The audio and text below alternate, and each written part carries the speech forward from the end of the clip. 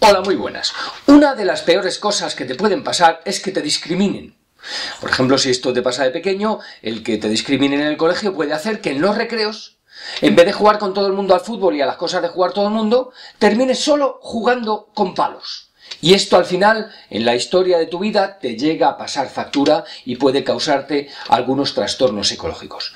Bueno, pues los directivos de Caixa eh, que están juzgando ahora mismo eh, por las cosas que les están juzgando ahora mismo, se pusieron una jubilación de 31 millones de, euros después de haber mm, dejado la, la, caja mm, por los suelos, precisamente para que no les discriminaran, para no ser discriminados.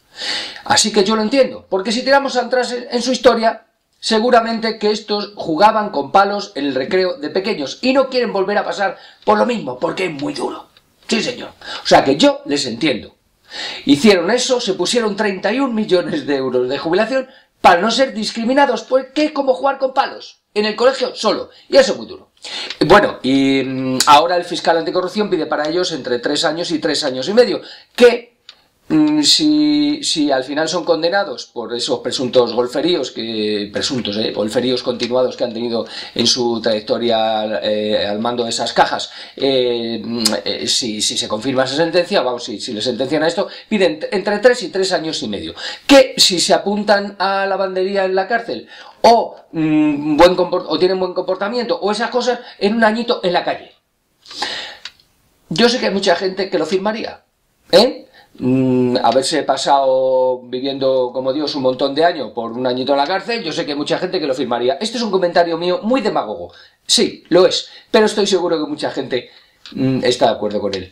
Y muchos firmarían una cosa así. Eh, por no decir los dirigentes de otras cajas, también intervenidas, por las que los españoles hemos tenido que apoquinar un montón de pasta, eh, por no hablar de los que ni siquiera van a pasar por el juzgado.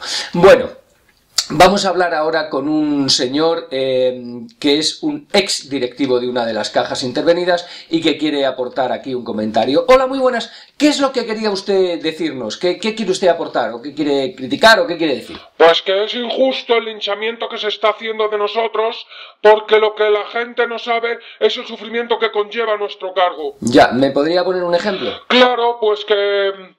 que Mm, que, tienes que estar pendiente de que si esto, de que si aquello, vamos, que es un sin vivir, que es que no está pagado, no está pagado, no comes en casa casi ningún día, todo fatal. Ya, bueno, pues eh, al final tiene usted razón, le tengo que dar la razón, es un sin vivir y se lo tenemos que agradecer. Bueno, a mí ya no me queda nada más que despedirme, pero para ello quisiera decir adiós y antes quiero lanzar un mensaje tranquilizador a Rafa Nadal y a Djokovic, eh, o Djokovic, como se diga. Em, chicos, tranquilos, que al final no me presento a Roland Garros. Lo estaba pensando, estaba que sí, que no, dando vueltas en la cama todo el día, que he dormido fatal estos días, me presento, no me presento, pues mira, al final me coincide con una, con una comunión y no me voy a presentar. O sea que tranquilos que podéis haceros con el título uno u otro.